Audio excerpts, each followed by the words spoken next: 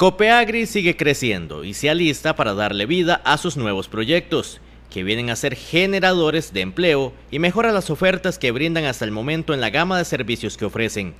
El gerente general de esta cooperativa habló de nuevo centro de suministros, una mega obra que traerá muy buenas noticias a toda la comunidad generaleña.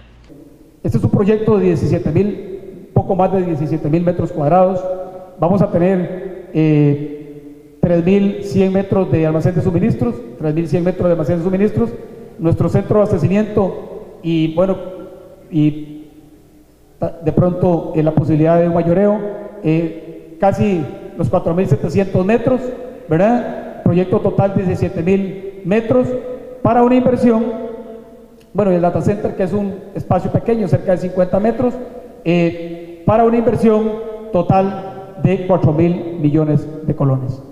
Con los nuevos hijos de Copeagri, las noticias positivas llegarán a los habitantes de la región. Vamos a diversificar entonces el servicio a los sectores, al sector productivo, al sector agropecuario. vamos a tener un centro veterinario especializado allá en Daniel Flores dentro del proyecto de eh, suministros.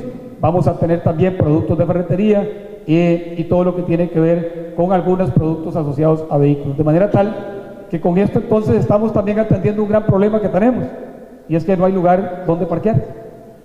Hoy, francamente, comprar en el centro San Isidro es una proeza.